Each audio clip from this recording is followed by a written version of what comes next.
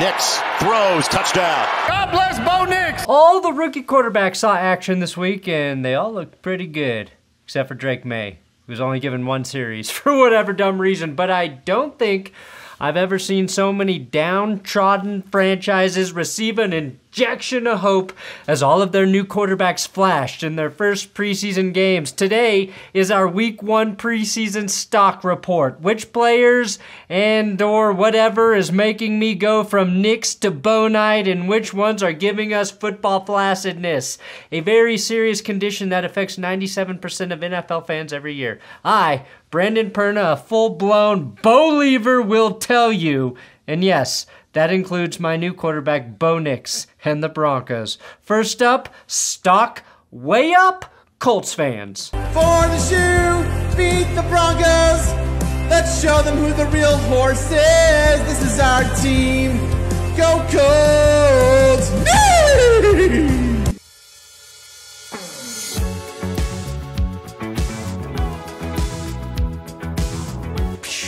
Hey, if you think your rookie quarterback saving your team, subscribe. Also, today's episode is sponsored by Underdog Fantasy and my code That's Good.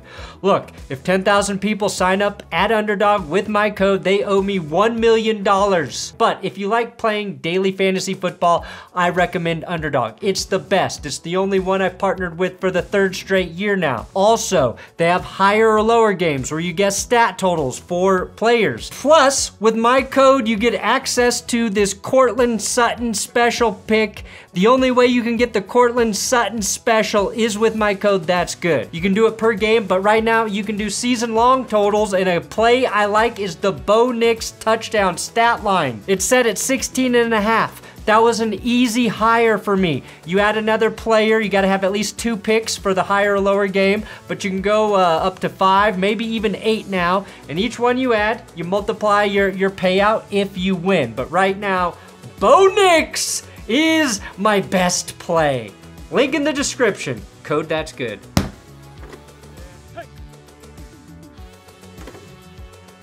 All right, to warm up for the regular season, I do have a few blops. It's the Blop 3 plays of the week. Blop 3, the NFL giving the announcers the freedom to body shame chain gang members in its biggest anti gang campaign yet. just seems absurd that in a game where they have GPS trackers on players' shoulder pads, they have 19 different levels of algorithms to measure everything in the NFL. We still use guys with glasses who are no longer what you'd call physically fit, trotting, trot, trotting out a pair of sticks to measure first down. I thought I'd have to go back to middle school to hear somebody get called a four-eyed fatty, but instead I just turned on a football game. Blop 2. Steelers fans having better arms than their quarterbacks. That's the only pass Steelers fans will see completed over the middle this season. And Blop 1, the new NFL sound effects. They are, oh my god, they're so good. Rookie out of Alabama, running back, but deep, he has an open, clean midfield, We bleed blue. and final now by Bob with help from 40 yard It's so perfect. I didn't even notice that was Michael Penix making a beautiful throw. All right, stock down. Right now, the Patriots coaching staff are playing Drake Maye one series. Every other rookie quarterback got a chance to look cool, make one nice throw, except for poor Drake. Do you know what one series does for a rookie? It makes them think they suck for at least a week. Stock up, Joe Milton. I'm a man who understands football, okay? I know that this play is meaningless, a play against the lowest tier of competition, but damn, that was pretty fun, Joe. Stock down, everyone saying, looks like the Patriots found another six round quarterback to replace a first round QB. Oh, you better watch out. But back to Drake Maye. Uh, I don't really understand the rationale of giving three quarters of the game to Bailey Zappe and Joe Milton. One of those guys will be a third stringer, and one of them will be on another team by the start of the regular season. God, just imagine going to a Patriots preseason game thinking, you know what, at least we'll get to see a, a steady dose of Drake Maye today, and then getting stuck with 20 attempts from Bailey Zappe. Oh, and if for some reason you tuned in to, to see Bryce Young in year two, you were instead treated to 30 combined passes from Jake Luton and Jack Plummer. No, not Jake Plummer, Jack Plummer, also wearing number 16. And no, there is no relation. Now, Bryce Young wasn't exactly stellar as a rookie, and I think he could have used all the reps he could get in that new system under new head coach Dave Canales. But far be it for me to question a 2 and 15 team. Stock down, Delta Airlines. Uh, I'm just glad that all of the Panthers players are still with us after their airplane ran off the taxiway. This obviously could have been a total disaster, but luckily the plane stayed upright. Flight officials are saying that if Bryce Young was just one inch taller, the plane would have flipped over and everyone inside would have likely perished. So I guess you should be glad you didn't take CJ Stroud, Carolina. And no, David Tepper didn't throw his drink on the pilot, causing the accident. But you were right to think that. You were. Stock up, Russell Wilson, who didn't even play. Maybe the greatest calf injury in the world, as Russ kept the starting job by doing nothing. Justin Fields dropped a couple snaps and took a sack on third down. Center Nate Herbig took the blame after the game, which was admirable. Fields noted that he simply wasn't used to her big ass yet on those snaps. Because his name's Herbig?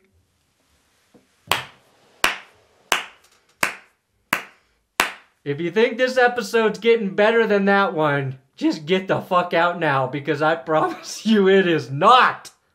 That is perfection. He wasn't he wasn't used to her big ass. the, the snaps. Because the center's got to, the quarterback's got to put his hand under the center's bottom. Look, I thought Fields made a couple really nice throws, specifically this one. But Pittsburgh played pretty sloppy, six penalties, they missed a PAT, they muffed a punt, and Tank Dell worked their defense early.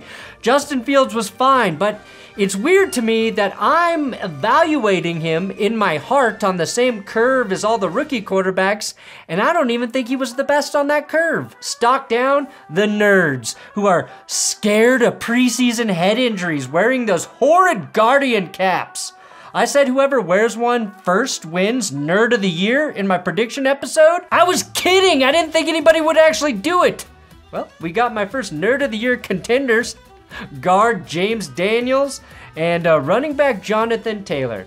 Thank you guys for your service, you fucking nerds. Stock up the Eagles' fourth string defense coming up clutch in a tie game with 15 seconds left. This strip sack set up the game winning kick uh, and the best finish of the preseason so far. Unfortunately for quarterback Emory Jones, that was his only snap in the game. Stock up QB Jayden Daniels, on his first completion. The second overall pick didn't get a ton of action against the Jets, just 11 snaps, but he took advantage of his three passing attempts, hitting on two of them for 45 yards, the vast majority coming on that first throw. And apparently, according to head coach Dan Quinn, Daniels checked out of a screen pass to a go ball on that play, which Quinn said was like buzzing the tower in Top Gun. And after the game, they all took off their shirts and played a round of homoerotic beach volleyball. Stock up the UFL and UFL champion quarterback Adrian Martinez throwing a 35 yard dot to UFL receiver Brandon Smith. You love to see it, UFL, UFL, UFL. Caleb Williams, stock up, throwing on the run. I think Caleb Williams got Bears fans the most excited they've been for a quarterback since. Uh, well, since Justin Fields in 2021. I'm kidding. I just started to understand the plight of Bears fans searching for a QB, and I refuse to squash their optimism. I think Caleb Williams looked better than Fields did three years ago, primarily because he was doing it against a tough first string defense in Buffalo. Williams was 4 of 7 passing, including a drop, for 95 yards plus 13 on the ground against the Bills in his debut. Probably the most impressive part was seeing him deliver the ball from different arm angles, improvise and somehow getting off this screen pass. One of the things that got lost in all of the nail painting and the crying and all that shit is that Caleb Williams has a rifle for an arm, which is perfect for playing in Chicago. Stock up, Zoomers. QB JJ McCarthy threw a pick on his first series, but rebounded nicely, connecting on 11 of 17 for 118 yards through the air, including a pair of long TDs. I actually think he had the best performance of any of the rookie QBs and might start earlier than anyone outside of Minnesota expected. There's something to like from pretty much every single one of his throws. First throw here, you see great placement with pressure in his face. Second throw, just an absolute FDR who is on the dime for uh, those of you who are, are uh, stupid. This is just an NFL throw to the sideline. Great pocket navigation here for the completion. And another completion where he gets hit. And oh yeah, can see the middle of the football field. I didn't think there was a quarterback competition in Minnesota, but now I think there is. Stock up, receiver Trishton Jackson. Uh, Jackson was the only receiver this week to get 100 yards, which is crazy considering nobody is out there playing an entire game. Oh, good route out here, boy. Were you talking about Trishton? Stock up, rookie edge rusher Dallas Turner getting a clutch sack in the red zone here. Stock down. Raiders quarterback Aidan O'Connell taking a zero awareness sack in the red zone. Stock up, Parker Washington. Stock down, hype on the new kickoffs. Jaguars second year receiver Parker Washington had the first noteworthy kickoff return of the new dynamic kickoff era, which I'll admit had not been particularly dynamic until he did this. 73 yards is by far the longest kickoff return of the preseason. Stock down. KC longtime uh, special teams coach Dave Toub for not teaching his players that this is a safety now and not a touchback. You're slipping, Dave. You're slipping. And yes, that, that really is a safety. Stock up. Jags receivers uh, are to catch everything forever. They are done letting Trevor Lawrence down. First, Devin Duvernay had a great concentration grab here. Uh, Duvernay, of course, is a former All Pro as a returner with the Ravens, and I think having him and Washington back deep on kicks could be a problem. But probably the most encouraging part of the Jaguars' win was the performance of 23rd overall pick rookie wideout Brian Thomas Jr.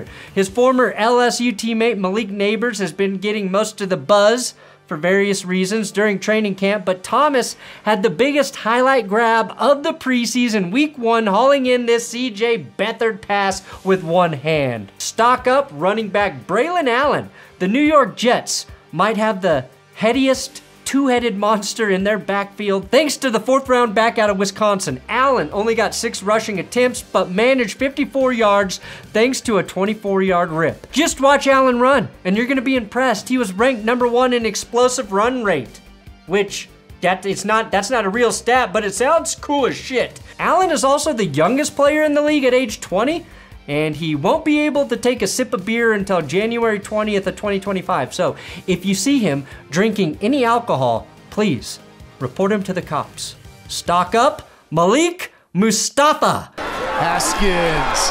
Whoa, that's a big hit there. Did not make it. More like Mustafa. Stock up, Jordan Love fantasy drafters. Love threw two passes for 63 yards and a touchdown, which is crazy because his first pass was a loss of one yard to Josh Jacobs, whose stock is down after not breaking that tackle. But fuck, one play later, Love tosses a 64 yard TD to Dontayvion Wicks, who just toasted safety Ronnie Hickman for six. Stock up? My fear of the Chiefs? Oh, cool! Another chief nobody can tackle. Who's that guy? Don't give a shit.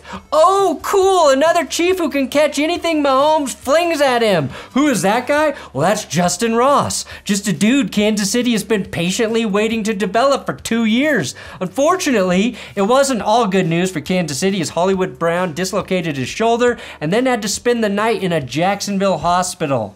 There's a good chance he misses some time with that injury, but the fact that he survived a Jacksonville hospital means he's ready to battle back. Speaking of Mahomes lookalikes, even rookie quarterback Spencer Rattler found the end zone with a nice rush, rush, rushing touchdown in the Saints game. Stock up, rookie Dolphins running back Jaylen Wright averaging 5.5 yards per carry. He totaled 55 yards, netting 20 after contact, and demonstrated elite vision and footwork on this TD run. Adding another weapon like Wright to that Dolphins backfield with Mostert and Achane is going to be too much fun for Mike McDaniel. And we know Mike McDaniel likes to have fun. In past lives, I have vaped. The 2024 NFL draft was very offensive heavy, which is why Texas defensive tackle Byron Murphy, stock going up, was sitting there for the Seahawks at pick 16.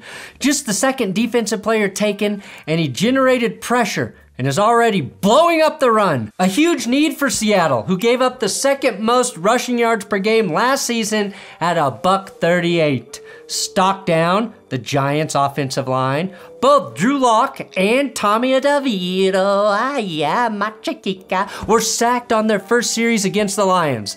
Lock also threw a, a, a pretty terrible pick. So I guess you can pick a lock.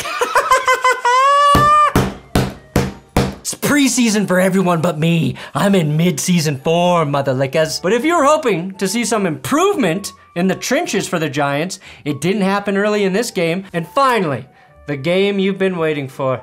God bless Bo Nix. Broncos fans patiently waited. We have listened to everyone shit on our team. And Bo Nix came in after Jarrett Stidham got a couple series, and all Bo did was make me believe we've got a fighting chance to not be terrible. Bo Nix's first series wasn't great.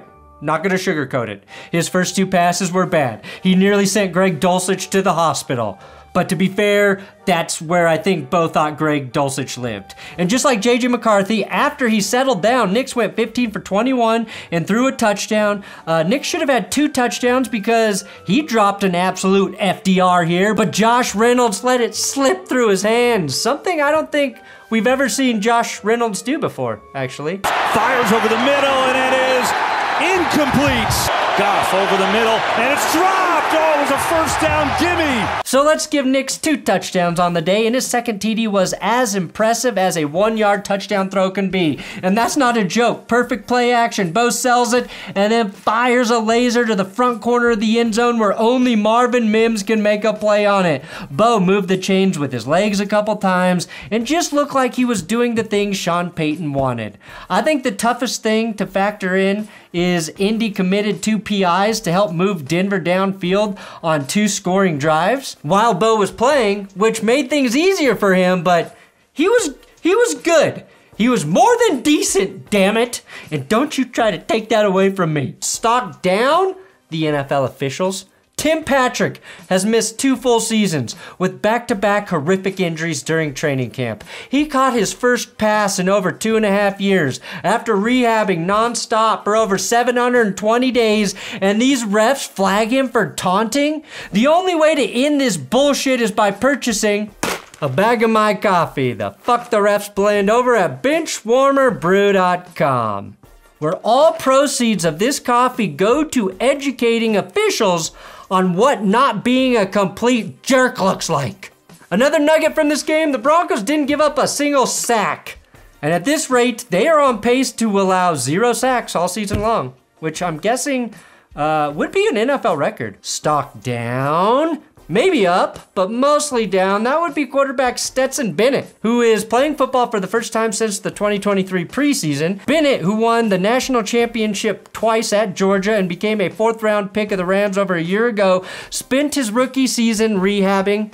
And not the kind that Tim Patrick was doing. That's the story at least, but the Rams have been rather quiet about it. Anyways, it was good to see him back on the field, but it was also bad to see him back on the field because Bennett threw four interceptions against the Dallas Cowboys, one for each quarter of football, and there should have been a fifth, but a penalty negated it. But then he threw the game winner, so all is forgiven for Stetson Bennett, right? It's kind of insane to think that the Rams actually picked Bennett last year before they selected Puka Nacua. The Rams were praised for finding Puka, but we should remember they also missed on Puka when you think about it. And that's your week one preseason stock report. Next Monday, we will have week two.